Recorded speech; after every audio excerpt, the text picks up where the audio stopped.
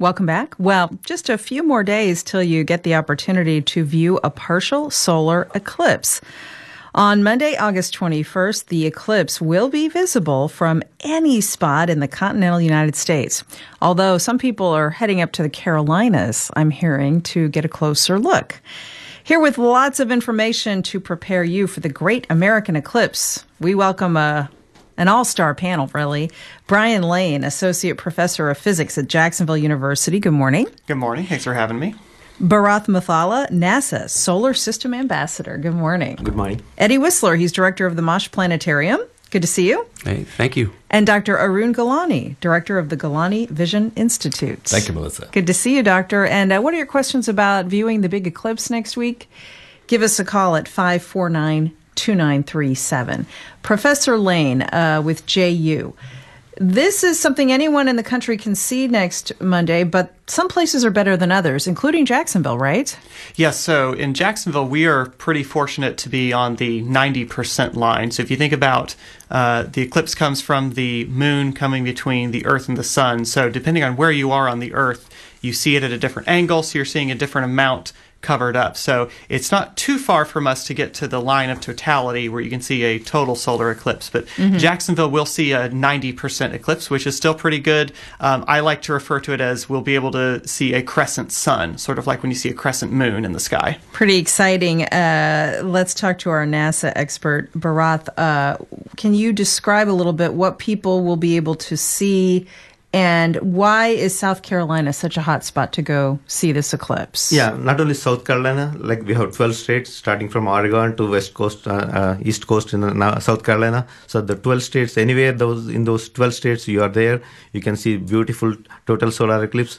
When it becomes completely like uh, after 99%, uh, like uh, completely obscured by the moon, you will see beautiful phenomena like you are completely on the alien world. You, have never seen in your life. Uh, you have not seen a total solar eclipse so far. You have never seen that it's completely alien world. You will see completely become dark. You'll i mean slowly it become dark and then you can see some bright stars appear you can see the diamond ring the corona all those beautiful phenomena you can see on a total solar eclipse Pretty amazing. Now, let's talk for a minute, Eddie Whistler, about what the Mosh is doing to celebrate the eclipse. Over, you direct the Mosh Planetarium. Mm-hmm. What's on tap? Um, this Friday, as a matter of fact, and we, uh, I'm happy and sad at the same time to say that we sold it out right? Ah. So it's not available anymore. It's a hot ticket. Yeah. It's a hot ticket. It's a hot subject, but it's part of a series that we're starting called Planetarium Night Live. And that happens every other month. And this is the first this is the first episode of that. It's called The Big cover up. And you know, all things, all things uh, eclipse. We'll be talking about historical eclipses of importance. We'll be talking about the science of eclipses in general, and then the specifics of this eclipse with our audience. And we've pulled partners from the United States Postal Service and Action News and the NASA ambassadors, as a matter of fact. So. Wow. Now let's bring in Dr. Gulani of uh, the Gulani Vision Institute, uh, an amazing eye doctor here in Jacksonville. We want to protect our precious sight. So, what are your expert tips for how we should view this eclipse, Doctor? First of all, Melissa, it's such an amazing event, a spectacular event to be seeing uh, as you're live. Uh, makes us realize how small we are and not to complain about traffic in Jacksonville again. So uh, yeah, right, especially today. today. Yeah. And uh, I think what's amazing about this is we get so excited about this phenomena that we forget that we are exposed to sunlight every day. So the external damage from the sunlight to our eyes is very well known. Most common of which is cataracts, which everybody has, and then we do cataract surgery and you see perfect. But the damage caused during eclipses from the rays of light because we are not protecting them that can cause photochemical and then photothermal damage to the inner layer of our eye, the retina, and more importantly, the photoreceptors. That's like damaging the film of the camera. Now, what is important to realize is there is no pain when this is happening, and this may not be an immediate impact. So it could be a delayed impact when you realize you've damaged your eyes. So you have to make sure if you're watching this eclipse, make sure you're wearing these protective glasses that are ISO certified. And those are the only glasses that you must look through for watching this phenomena. Yeah, you must use the glasses. It's is it right to say that the downtown library will be giving them out on Monday? We're hearing that. Yes. yes. For people that need the glasses and uh, lots of calls for our all-star panel on the Great American Eclipse. What are your thoughts and questions? 549 2937. Ashley in Jacksonville Beach. Hey, Ashley, are you going to check out the eclipse? Yes, I am. Um, I had a, I think he kind of just answered my question. I was wondering the science behind the reason that, you know, the kids are being kept indoors between one and four. So just in general, being outside, I'm guessing any exposure from the sun rays is, is harmful. okay. Monday. Sure. Yeah. Thanks for that question. Yes. So what you need to do that day is again, it's more the excitement of the event that makes people forget that they're staring at the sun. And that's an important thing to remember. Children, adults, everybody. So exposure to the sun directly has a whole range of uh, light that we have from ultraviolet to radio waves. And that could be damaging to the inner layers of the eyes as the eyes focus to look at these rays. At any point of the eclipse, except when there is total, complete eclipse, solar eclipse, you must not look at the sun because even if it's corona or a portion of the sun has high intensity rays that can still blind people. So please be careful. Isn't it true as well during a partial eclipse you notice the animals start to act a little differently? Like the whole the whole vibe of planet Earth seems to shift a little bit. Is that right? Yeah, that's correct. I mean, just be, just before the totality, it becomes like completely dark, and then the uh, animals, even the birds, they try to go to their nest, and the animals you see in the barns, they go to the barn back, the cows go to the barns back, and then once the eclipse is over, they will come back again out of it. so it's a confused state, like for everybody, every animal or the birds. And oh, go ahead, oh, Professor. Oh, sure. In fact, uh, animal behavior during eclipses is something we haven't studied a whole lot of. There are some citizen science projects out there where people who are viewing the eclipse can take data about wildlife behavior, just simple pictures, video, you know, jotting down observations um, to upload to uh, different servers so that scientists can pool all this data together and try to figure out how different species of animals react to the eclipse. What are your thoughts and questions about the Great American Eclipse next week? It's your chance to connect with our panel of experts here right now at 549 2937. Lowell is in Mandarin. Hey, Lowell, how are you? Doing great. Planning on heading to uh, South Carolina to be right in totality. And uh, it's just frustrating to hear that Duval County Schools is sort of blowing the science um, educational moment by putting all the kids on the buses instead of uh, using it as a teaching moment. Oh, you think they should not uh, bus the kids during the eclipse? No, I think they should have kept them around. I understand um, some schools in St. Johns County are staying open and uh, inviting the kids in, bringing in science teachers, doing the right thing as far as this one educational moment. They wouldn't come around for quite a while. Okay, what about that, Eddie Whistler? Um, I guess there's a few ways to think about it. It's definitely unfortunate that the the peak of the eclipse in Jacksonville happens to be when a, lot, a lot of schools are letting out. Yeah, um, exactly. But ours is kind of so. If you're in South Carolina and you're in the path of totality, you are there for an event that is taking place over the course of at most two and a half minutes. Right, two minutes and forty seconds, is, if you're in the perfect spot. But here in Jacksonville I mean, there will be, it's not like a, an event that you'll need to be a part of at a moment. If the peak of uh, our coverage is at 245, right there about. That's the easy round number to remember.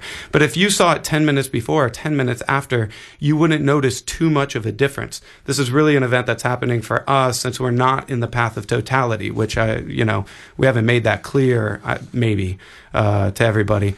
But it's an event that happens over the course of over three hours. Um, so mm-hmm. it's something that you can take a look at, make some observations, come back to. And as a matter of fact, I'm a big advocate for parents and other people who are going to be educating kids to go out in the days before at about those times and make some observations. And here's some things to take some observations about. First off, the dimness or the brightness of the sky at that time.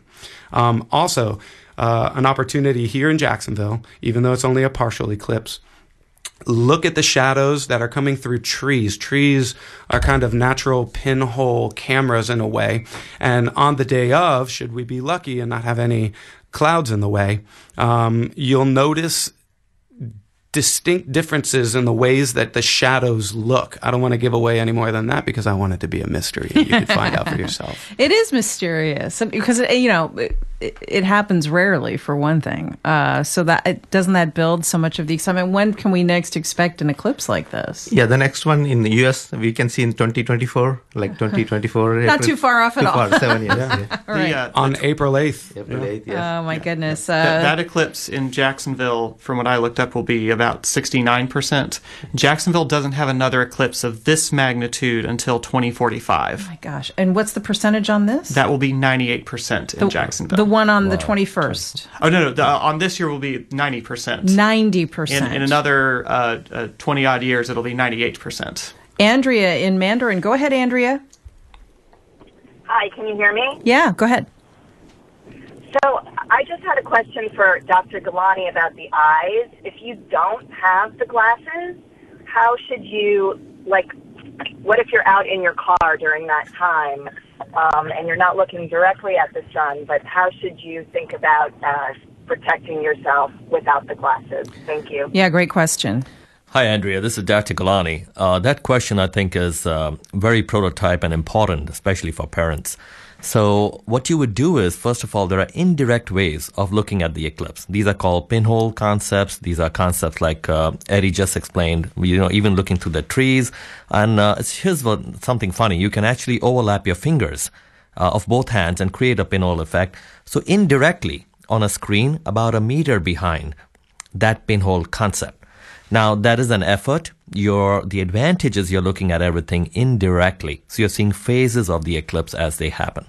It's surely not as enchanting as looking at it directly, but again I repeat, directly you can only see with the safety glasses. So keep your eyes and gaze away from the eclipse while it's happening in Jacksonville in particular because we are not going to have a complete total eclipse. Right? That's the only time when you can look up and stare for that one minute, but nothing in Jacksonville, please. Mark on the west side. Hey, Mark, go ahead. Hey, I'm uh, I'm going to, or I'm going to attempt to uh, be one of these people to go up to uh, South Carolina to see the 100%. And I just, it, it looks like everywhere is going to be clouded in. Unfortunately, does anybody have any uh, insight to what the weather will be uh, next Monday? Good question, too. Yeah, the weather-wise, as of now, it still shows thunderstorms, but uh, it may change. Like it's like still four days before that, but uh, we'll get one day before or two days before exact like timings where you can see. So all along that path, you have to just uh, go and look for that uh, best spot and where the weather clears. There are no thunderstorms. It's a chance. I mean, weather. So I've seen some scientists or the eclipse chasers. They go all over the world and then suddenly the it, sure. yeah they go there for travel thousands of miles and then the clouds comes and they can't do anything. Aw. It's yeah. have, it's, have any of you done that? Chased an eclipse? No. No, but No. NASA will have live feeds of the total eclipse from various locations. So even if your location ends up being cloudy, you know, you can open up your, your laptop or your phone to watch these live feeds, and they'll have them from different locations, so you can watch the total eclipse even at different times. Yeah, even in the clouds also. I mean, sometimes if there are clouds, still you can see some features like some darkness comes, and then you can see some difference. So some lot of people even uh, during the clouds they can see that cloudiness and then the darkness, and then they can enjoy that. It's completely different from the your regular scene. Ca- Kathy in Mandarin. Hi, Kathy. How are you? Go ahead. Doing good. Just wondering one thing. When I was a little kid, we were told that if you wanted to look at the eclipse and you didn't have any special pinhole cameras or whatever, you could u- view it by looking at a reflection in some still water, like a bird bath or something like that. Is that safe? Yeah, it's not safe. I mean, No. uh, yeah, no, don't do that. Okay. Yeah, it's not safe. Don't Yeah. recommend that. No, I don't. And again, indirect, meaning, you know, the pinhole effect and stuff like that, you can do that with a screen one meter behind that impact. Uh, most important thing is to see it indirectly, not a reflection of it. Because just like snow, reflection may underestimate the damage that you're causing. Brian is along I 10. Hey, Brian, you still holding? Go ahead. I sure am. I sure am. Uh, I saw totality in 1991 in Mexico, and I remembered the effect on the shadows. And I don't want to give it away because your guest was wanting to keep that for a surprise. But I was trying to describe to my to my 14 year old, and I was wondering if we were going to see that here in Jacksonville with a 90% level of uh, eclipse. No, the shadow shadow bands. You have to be on the totality path. If you are on the totality path, you can see those shadow bands. Not here in Jacksonville. Still, there is a ten percent of the sunlight coming here, so you can't see, unfortunately. Calls from, oh, go ahead, Eddie. There's, uh, I, just to be clear, what the uh, caller was probably talking about, he was in the path of totality, and there is this uh, phenomenon called shadow bands that almost look like snakes uh, crawling across the ground. Um, I've heard. Uh, I've heard of kids like running up to these things who are in the path trying to grab them. What I'm talking about in terms of the shadows that we can see is that the shadows uh, in Jacksonville are going to be like very crisp and sharp on the day of. So I gave it away. Um, and so uh, you, j- observe for yourself. Go out the days before and see what the shadows look like. And if there's no clouds, then on the day of, you know, take a look at how those shadows look at about, you know, 2.30 to 3 o'clock. It's going to be exciting. And go to jaxeclipse.org for all the information you need about Monday's big, great American eclipse. What a great panel to explain it all. Dr. Gulani, Arun Gulani, director of the Gulani Vision Institute. Eddie Whistler directs the Mosh Planetarium. Bharath Muthala is a solar system ambassador for NASA. And Brian Lane, associate professor of physics at JU. Gentlemen, thanks and enjoy the eclipse. Thank, Thank you for you. having Thank us. You too. We'll be right back.